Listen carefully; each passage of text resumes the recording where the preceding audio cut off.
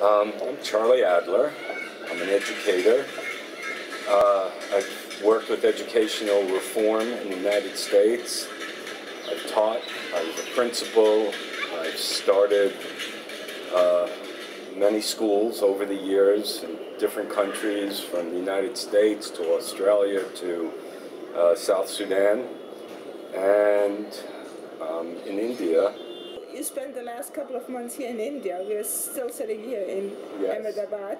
Yes. Uh, if you would compare the situation in the field of education with India and America, do you see any major differences? Yes. I think one of the big differences here is that only 30% of all high school age students are actually in high school. And um, yeah, 70% are not in high school. And I don't know the numbers, but there's a very small number that actually graduate uh, from the 12th year. So it's education is far less accessible here um, and it is limited uh, for, to the most part for the upper levels of society. And um, as bad as the public school system is in America, it's much worse here where the classes have, in the government schools, 75 students in a class, and the teacher basically stands up front and just talks at you. So, and they've inherited a lot of that from the British education system, uh, memorizing by rote, and a lot of education is geared towards uh, the exams that they need to get into higher education. Um, What about the private sector in education? well, there are some excellent schools in the private sector, though they're beyond the reach of 99%. You know, Uh, the I mean, if you figure the cost 100,000 rupees to 500,000 rupees, depending on the school, per year. And For day school, for day school. okay? 500,000? Yeah, there's there's one in Ahmedabad that's pretty close to that, um, and the average, and, and you have what sixty percent of India living on twenty four rupees a day. Uh, you know, that's just an absurd number. Do you have any idea how the Indians, I mean, there are a couple of good examples, as you mentioned. How can they scale it and how can they make it more accessible for those who live at least middle class, not talking about those living below poverty line? It's hard. And I think the middle class in India, like the middle class everywhere around the world, is the one who gets screwed. There are no programs for them. So at least there's a government program that says 25% of the schools should be kids from the lowest echelon, the lowest socioeconomic level. And for a middle class family, it's sort of like a middle class family in America wanting to send their kids to a private university. You don't get financial aid because you make too much, though you'll be wiped out financially if you try to, to, to pay for it. Mm-hmm. Um, you know, I'm, I'm still paying loans for my daughter's college and will be till the year 2027.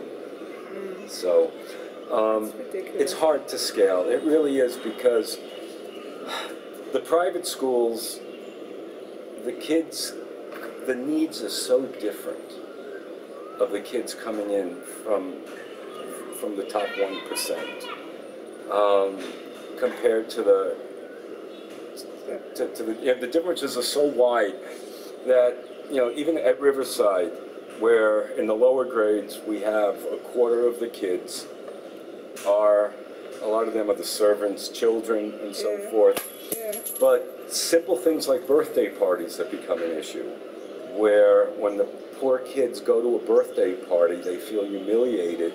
They feel, well, never, I can't do this for my kid. Lunches. The poor parents cannot afford the same lunches. Everyone brings lunch to school. Yeah. So the lunch that the richer kid brings is maybe worth a week's salary for, for, for someone else. Yeah. Um, and at a young age, you know, they don't know quite the difference that much. But as they get older, I really wonder how it's going to play out. Um, So you have your doubts?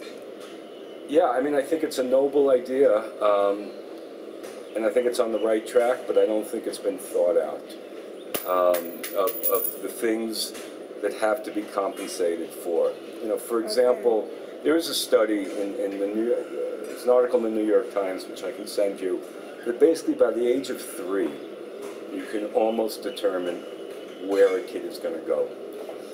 And that is uh, this was done in America. They compared parents with graduate degrees and parents on welfare. And the children of parents with graduate degrees heard, um, what was the number? But it's it may even be 500 times more, more utterances. Yeah. So, in other words, the parents talk to them. Oh, you know, let's look at this and do this. Um, number two, they heard also five to ten times as many positive statements, as opposed, you know, instead of hearing, "Oh, you're stupid. Why'd you do this? Stop."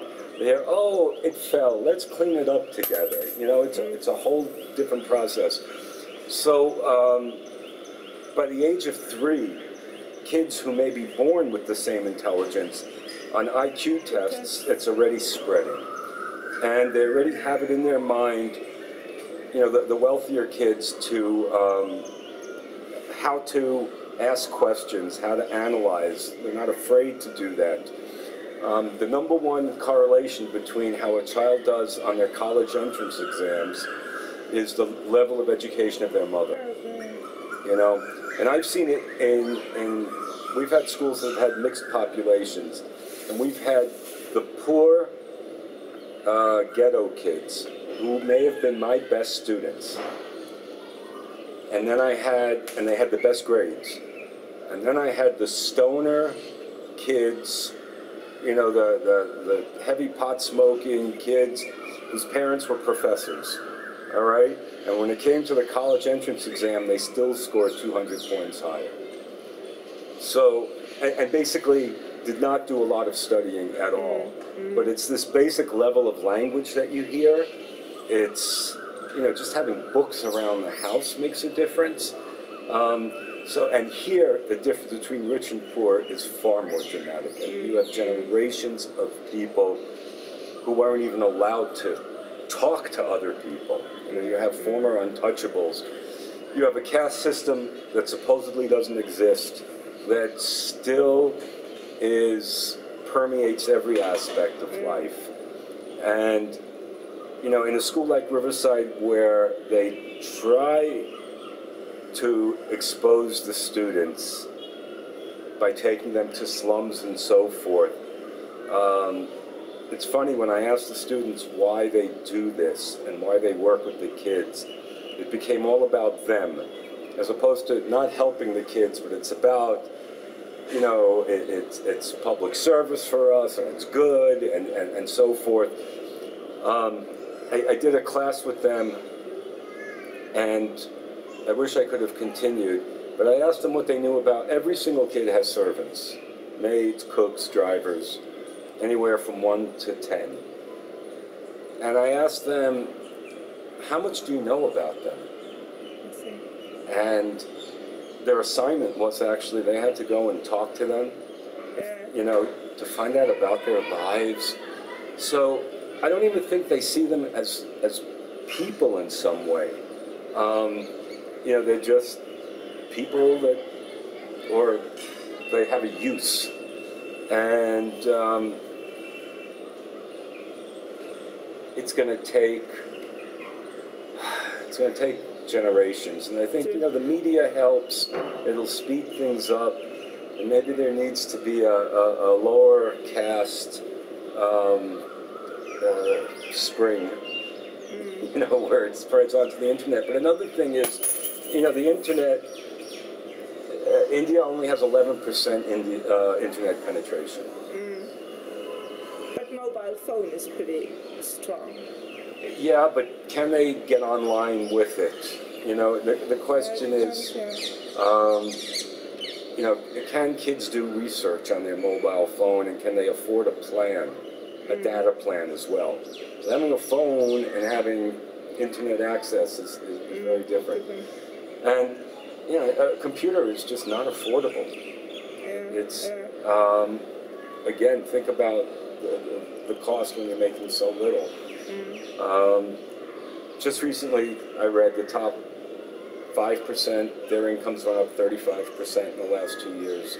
The bottom 1%, you know, the bottom 40% or whatever it is, their incomes went up 3%. I mean, you're drawing a pretty bad scenario here. But we are optimistic people, aren't are. we? Yeah, So, but- what could be a solution? I, I, I think what we're looking for is a unique solution and not a solution based on Western success, because I don't think we'll get to that. And hopefully their ingenuity and will come up with, with something that totally breaks the mold. Because for them, I think to try to reach success in a country of 1.2 billion, that's still more than 50% agrarian, um, it just won't work. Um, and, and the differences are going to get wider and wider. But you have this great, I mean, they are innovative. They manage to, to, to I mean, they figure out things. They, they, they, you know, they've got great engineers, but it's going to have to be a unique Indian model. And, um, and I think from my Western eyes, I can't see a solution. I can't make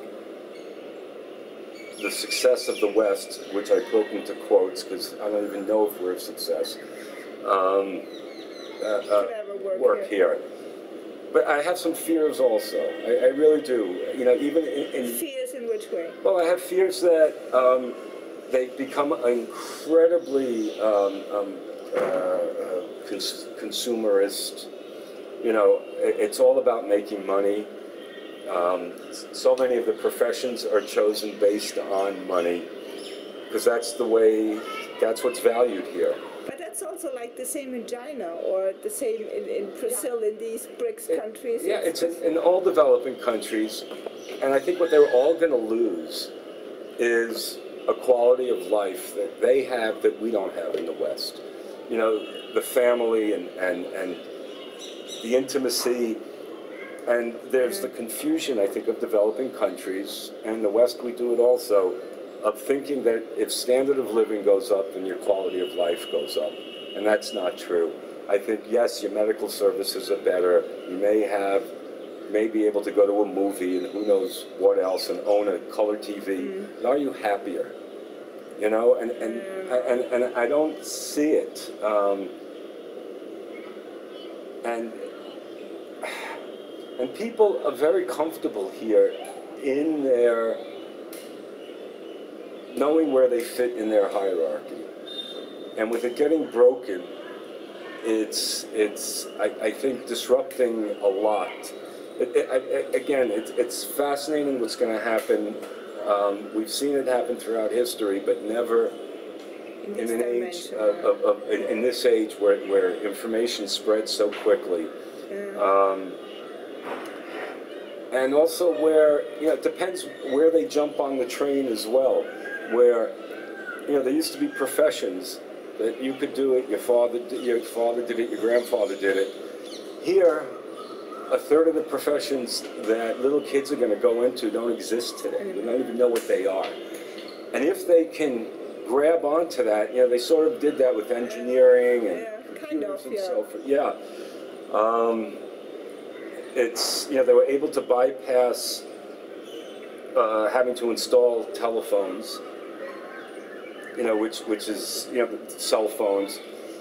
So they didn't go through, you know, countries going through this 20 years ago were investing tons of money into a technology that, that really it just disappeared. Um, the government is corrupt, and you know it's where are the tax dollars going? You know, there's a whole movement now. Uh, people are protesting as we speak about um, the money in Swiss bank accounts they want returned to India. It should be used. So but it is an optimistic country. You know, that being said, they do feel they're on the upswing. You know, it's a big contrast with, with America right now, where America feels like we're not going to be better off than our parents. And they do feel they're going to be better off. Yeah. Um, So, I mean, you've been here this year for four months, four and a half, five, five five months. altogether, yeah. Uh, what were your major learnings? My major learnings. Uh, the first thing is um, that I'll never understand India. And um, also that, um, and, and part of that is the way of thinking is so different that you can't really understand it from Western eyes. And it's very easy to judge what we see and without understanding how it evolved. And maybe it's just certain things just aren't that bad for them. You know, one of the big statements somebody said to me that hit me when I asked her, um, a teacher, an Indian, and I said, How do you deal with the poverty? She said, Why do you have to deal with it? So it's kind of, it just is. And it will be. Just like there's rain and sunshine, there's people living on the streets. Um, I, I learned, it just reinforced what a selfish species we are. You know, it, it, it's, you know, I came back from Sudan no longer believing in the goodness of mankind and, and doing certain things I saw there, and it was a very um, life-shattering experience, and all my friends will tell you that I'm a darker person since then. I really am. And here, I do see how those who succeed, really very few will look back and want to help. You know, and- and- you know, to see a, you know, I, I- saw a Bentley the other day, you know, and I wish I had a picture of it. It was right next to homeless people, and and oh, I- He made it. May, when'd you get here? Oh, okay. So you saw the Bentley. And you think about that. I mean, that's a that's- that's 200 years of income for some people. You know, you're talking about hundreds of thousands of dollars, and I don't think we're we're we're, we're willing to sacrifice enough to make the society better. You don't think so? No. And, and um, you know, we did something in class also. They have a riverfront project that's great, but they displaced 20,000 people. It's a beautiful project, and I I was asking the students, you know, is it okay to displace people? So at first they said, yeah, it's totally wrong. But for something like this, it's okay because it's going to make the city better. So if it's something that's going to benefit them, it's okay to take 20,000 people and just move them. They took out all the slums in that area. So it's not a real we what we are talking about, huh? You doubt that people are willing to build a real greater we. Absolutely. I think they're willing to talk it, but I don't think they're willing to do it. And, and um, So what kind of advice, and this would be my last question though, would you give us, Egon and me, who are trying to build this we school in Wool, India? What would be your advice? my advice would be Don't say leave it. no, but to integrate it as much into the local village as possible, and not see it to see it as a as a um, uh, what do you say uh, organic. See it as organically growing out of the village and not an external thing that's been put into it, and listen to what people have to say and don't be afraid to really listen, as opposed to going in with your ideas and then just hearing what you want to hear, mm. which is, you know, the arrogant Western way of doing things.